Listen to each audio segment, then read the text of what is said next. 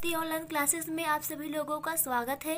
कक्षा दस की इंग्लिश में आज हम लोग चैप्टर टू देख रहे हैं पोएट्री का the psalm of life psalm का मतलब होता है स्तुति या फिर जागरण या गान लाइफ का मतलब जीवन का।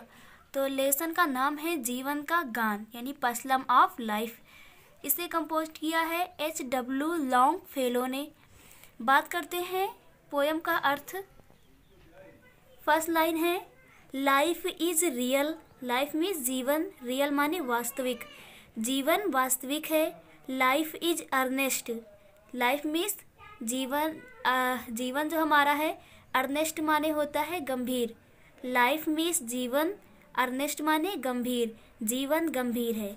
जीवन रियल है वास्तविक है और जीवन क्या है? गंभीर है। एंड द ग्रेव ग्रेव माने कब्र होता है। इज़ नॉट इट्स गोल माने लक्ष्य। तो कब्र ही इसका लक्ष्य नहीं है। दस्ट दाउ अर्ट दस्ट माने धूल होता है। दाऊ मतलब यू तुम्हारे लिए कहा गया है। दाऊ रिटर्निस्ट।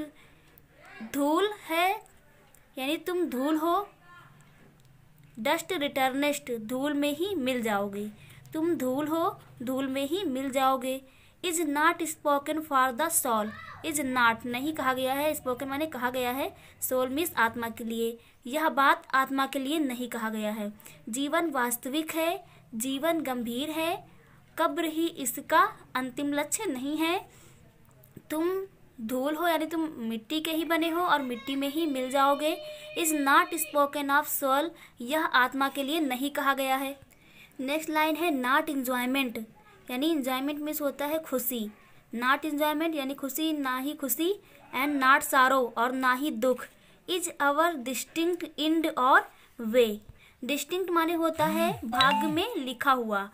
तो सुख और दुख जो होते हैं, ये इज़ अवर डिस्टिंक्ट इंड और वे इन्हीं को मेन रूप से मान लेना, ये भाग में लिखा है, ये रास्ता नहीं है। But to act that is तुम्हारो act means होता है कार्य करना, बल्कि कार्य करते रहना इज़ टुमारो आने वाले कल के लिए। हमें कार्य करते रहना चाहिए, आने वाले कल के लिए। फाइंड मीन्स होता है पाना फर्दर देन टूडे फर्दर माने आगे देन टूडे मतलब आज से। तो हमें कार्य करते रहना चाहिए, ताकि जो हमारा कल है, हमें आज की तुलना में आगे ले जाए। इन द वर्ल्ड यानी इस दुनिया में या इस संसार में broad field of battle broad का मतलब होता है विशाल या विस्तृत फ़ील्ड ऑफ़ बैटल बैटल माने होता है युद्ध।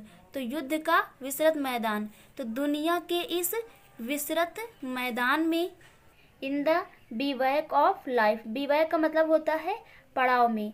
तो दुनिया के विस्तृत युद्ध क्षेत्र में, जीवन के पड़ाव में। Be not like dumb be not like dumb मतलब होना होता है लाइक मतलब की तरह। डम्ब मतलब गूँगे की तरह। तो दुनिया के विस्तृत क्षेत्र में, जीवन के अस्थायी पड़ाव में गूँगे जैसे गूँगे जैसे ड्राइव एन कैटल मिस मवासियों जैसे मत बनो। Be a hero hero means नायक बनो, बी मतलब होना। आप हीरो बनिए, इन द स्ट्राइफ स्ट्राइफ माने संघर्ष। संघर्ष के आप हीरो बनिए। Let us let us let's means होता है आओ, देन माने तब। Be up and doing be up मतलब आगे की ओर डूइंग माने लग जाएँ। आओ हम आगे कार्य में लग जाएँ। विद ए हर्ट यानी अपने हृदय से। फॉर एनी फेट फेट माने होता है हमारा भाग्य। तो आओ हम लोग अपने कार्य में लग जाएँ, अपने पूरे हृदय से, पूरे मन से। For any fate fate means होता है भाग्य। बिना भाग की चिंता किए हुए। Still achieving still pursuing learn to labour and to wait. Still का मतलब होता है सदैव अचीव माने प्राप्त करना। स्टिल परसुइंग यानी कि हमें सदैव आगे बढ़ते प्राप्त करते रहना चाहिए, यानी सफलता की बात कर रहे हैं। सदैव सफलता प्राप्त करते रहना चाहिए और परसुइंग का मतलब है अनुसरण करना, यानी उसका अनुसरण करना चाहिए। Learn to labour, learn to labour, यानी सीखना चाहिए। लेबर मतलब यहाँ कार्य से लिया गया है। एंड टू वेट हमें अपने कार्य करते रहना चाहिए और फल हमें मिलते जाएँगे, फल का इंतज़ार रहना चाहिए, उसकी अभी चिंता नहीं करनी चाहिए। तो कहने का मतलब ये था। तो आप लोगों को ये पोएम क्लियर हो गई होगी। तो नेक्स्ट वीडियो में इसकी हम सेंट्रल आइडिया देखेंगे। Thank you